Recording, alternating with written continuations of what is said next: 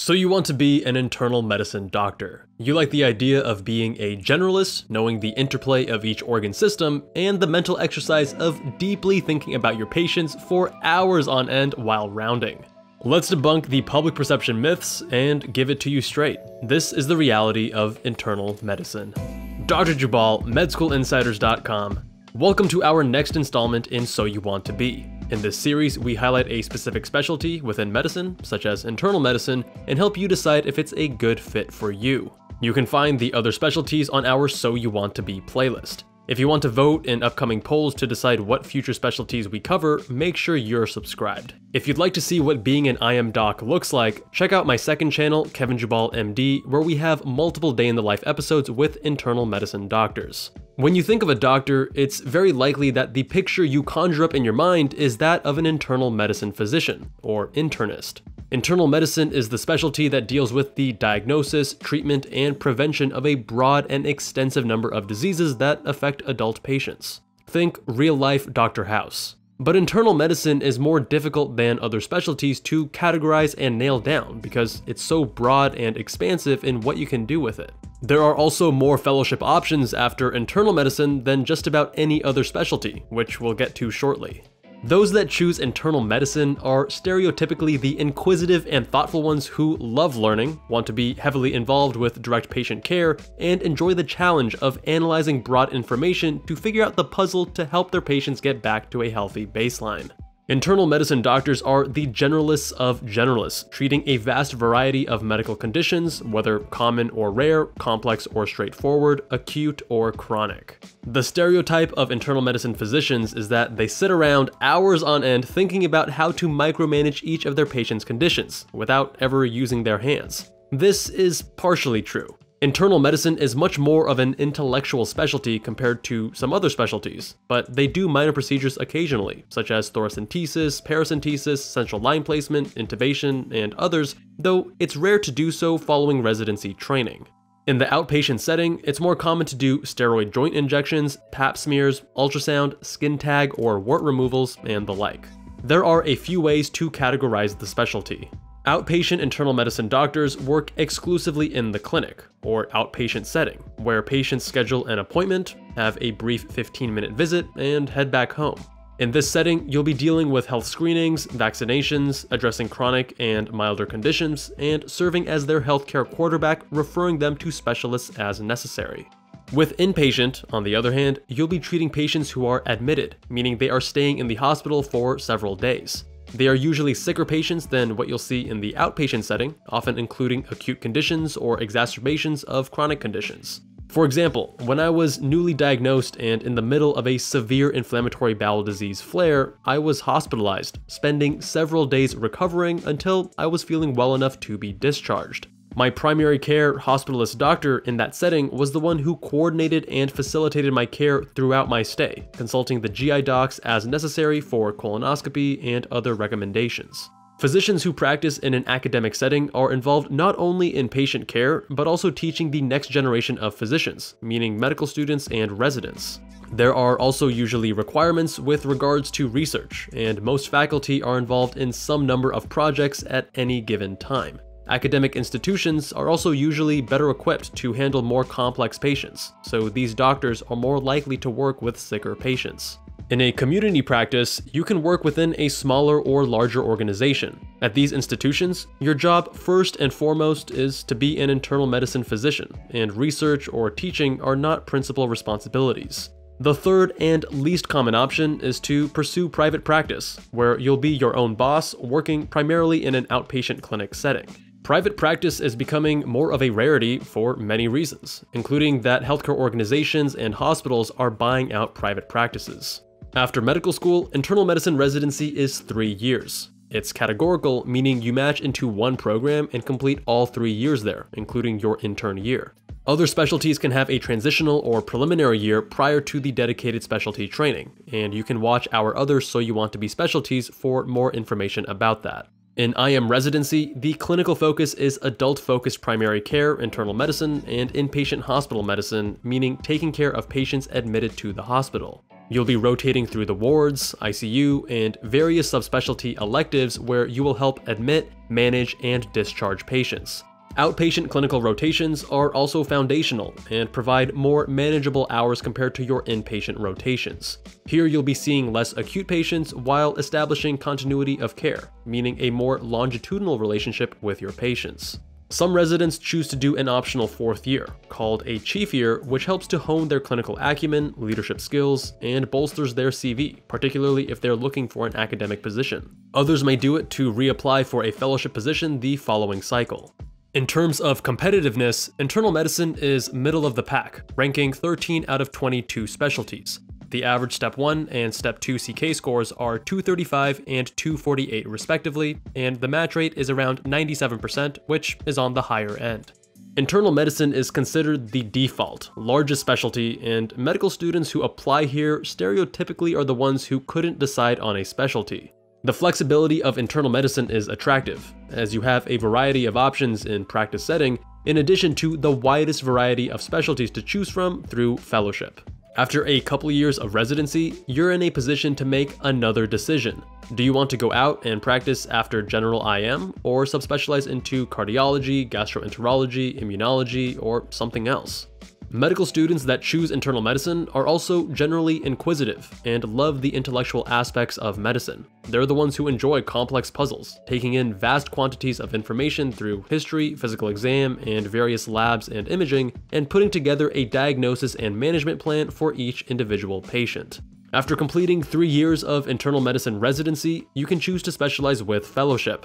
Cardiovascular disease, also called cardiology, is a three-year fellowship focusing on diseases relating to the heart. Cardiology is a highly competitive fellowship, offering the first or second highest compensation of any internal medicine specialty, duking it out with gastroenterology. Cardiology is an extremely well-studied field, with a robust scientific backing for its treatments, meaning often good outcomes and instant gratification. After cardiology fellowship, you can specialize further with advanced heart failure, interventional cardiology, electrophysiology, and others. You can learn more about cardiology and these subspecializations in our So You Want to Be a Cardiologist video. Similar to cardiology, gastroenterology is also a highly competitive fellowship, lasting three years with similarly high compensation. GI doctors do many procedures, with not just endoscopies and colonoscopies, but ERCP and liver biopsies as well. To be happy as a gastroenterologist, you have to be okay dealing with feces, as colonoscopies are bread and butter. However, you can also subspecialize further, such as with transplant hepatology, which is an additional one year of training after GI fellowship. Pulmonology and critical care is a three-year fellowship for those who want to take care of the very sick patients in the ICU. ICU patients, compared to floor patients, are generally more complex, as they're often receiving multiple interventions, such as respiratory assistance through ventilators or pressors to maintain their blood pressure in states of shock. ICU doctors spend a great deal of time having deep and often very emotional discussions with families of the critically ill, as this is an incredibly trying time for everyone involved. Pulmonologists, on the other hand, are lung doctors. They see patients both in the hospital setting on the floors and in the clinic, and are the specialists for lung pathology, including cancers, COPD, asthma, pulmonary hypertension, and many other conditions. Pulmonologists also frequently perform bronchoscopies, where a tube is inserted into the trachea to biopsy a mass or to clear a mucus plug.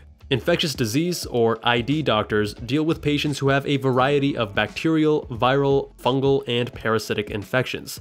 If you liked microbiology and pharmacology in medical school, this is the specialty for you. You'll be using labs, imaging, physical exam, and history to figure out what bug is causing the patient's symptoms. Did they go on a cruise recently, travel out of the country, any contact with animals? These all play an important role in narrowing down the differential diagnosis. ID is a two-year fellowship. As a word of caution, you will be dealing with plenty of notable smells and unforgettable infections. HemOnc is focused on blood disorders and cancers. Hematology specifically deals with diseases related to the blood and its components as they affect the lymphoid and myeloid cells. They often deal with bleeding disorders, such as platelet disorders, leukemia, which is cancer of white blood cells, and various anemias involving dysfunctional red blood cells. Oncology is focused on the diagnosis and treatment of cancer. Oncologists work closely with pathologists, radiologists, surgeons, and other fields to coordinate care for cancer patients. This field can be emotionally draining, and patients often have poor outcomes. You could do hematology for two years or oncology for two years as separate specialties, but many opt for a combined hem-onc fellowship over three years.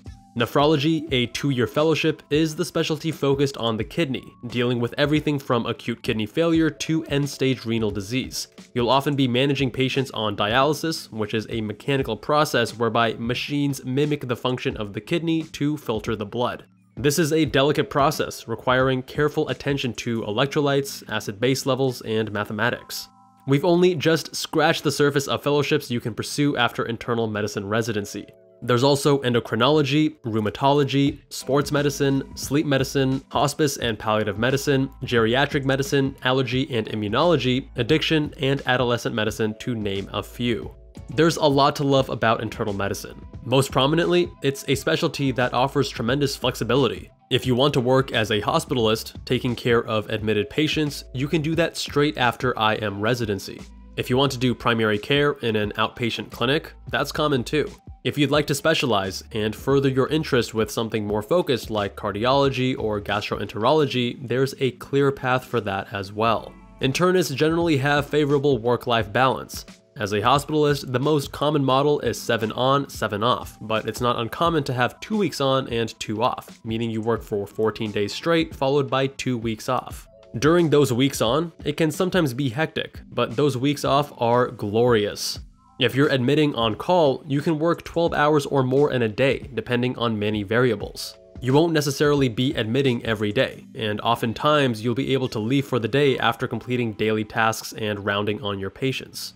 Because just about every patient who walks into the hospital needs an internist, there is never a shortage of patients. While some other services rely on consults to see patients, as an internist, you'll always have patients to see. In many outpatient gigs these days, you can choose to work 4 or 5 days per week. This is appealing for those who enjoy working regular business hours with holiday vacations. IM doctors also maintain their level of medicine knowledge. Medical students in their later years know what I'm talking about. You spend thousands of hours and incredible effort learning about the various organ systems and their pathologies.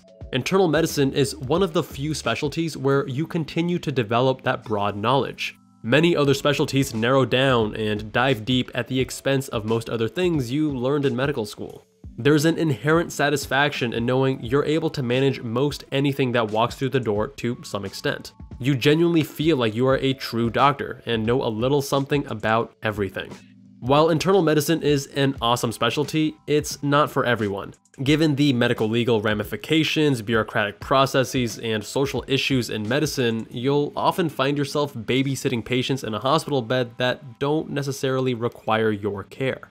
Compared to surgical specialties, there's much more charting and computer work. You'll often be consulting other services, such as cardiology or gastroenterology, who will give you recommendations on caring for your patient. But ultimately, it's up to you to assess these recommendations, place the orders, write notes, and monitor the patient despite these other consulting services. Compensation is in the bottom quartile of specialties, with internal medicine doctors making on average $251,000 per year.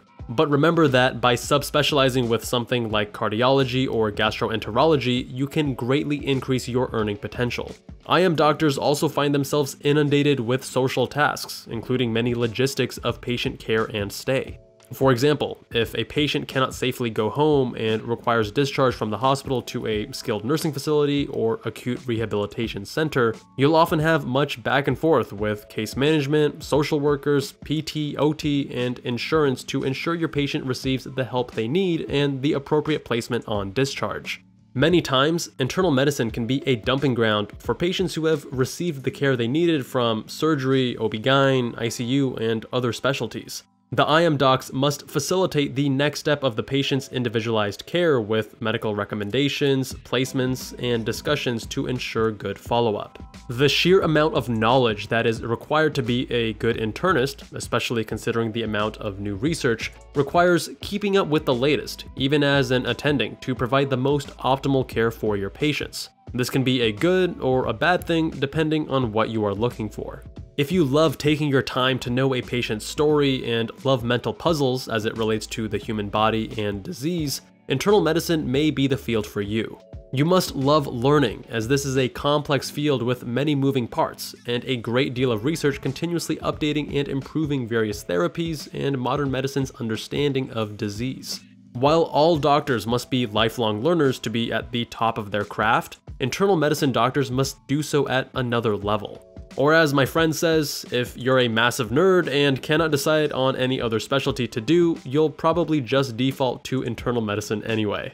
Big thanks to Dr. Harman Singh from the MedBros channel and Dr. Zishan Asif from the ZeeMD channel for helping me in the creation of this video. Links to their social media in the description.